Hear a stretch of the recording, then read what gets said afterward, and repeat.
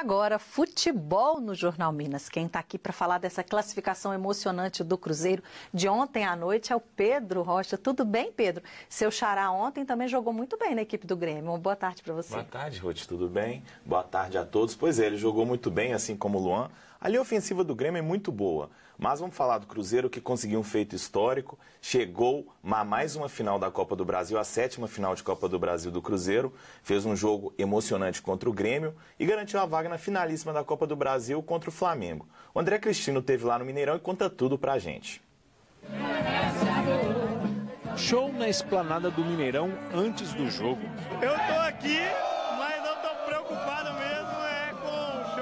campo. E eu tenho certeza que vai ter um, vai ser bacana. No final de semana, Mano Menezes deu um palpite para o jogo de volta contra o Grêmio. Eu imagino 3 a 1 pra gente. Tá bom? Os torcedores estavam com ele. Tamo, tamo junto. Eu acredito que vai ser 3x1. Vai ser 3x1 mesmo e o mano tá certo. Dentro do estádio, o show foi da torcida. Mais de 55 mil torcedores empurraram o Cruzeiro. Tudo bem que levaram um susto com menos de 5 minutos de jogo. Nada que tirasse a vontade do time. Thiago Neves ficou no quase. Robinho colocou na cabeça de Alisson, mas Groy estava ligado. A insistência deu certo. Hudson abriu o placar.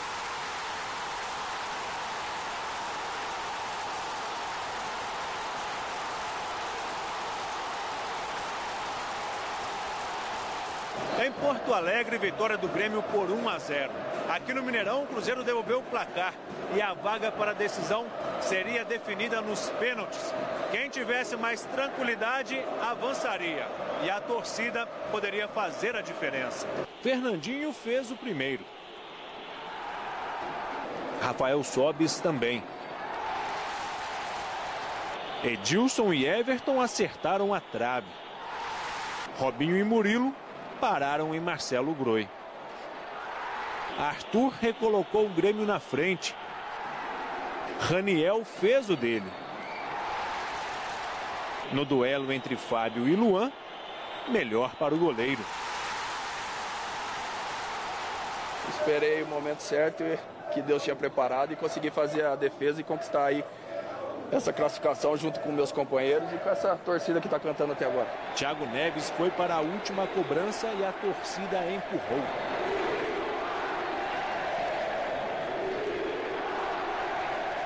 Ele cobrou e garantiu a classificação para a final da Copa do Brasil.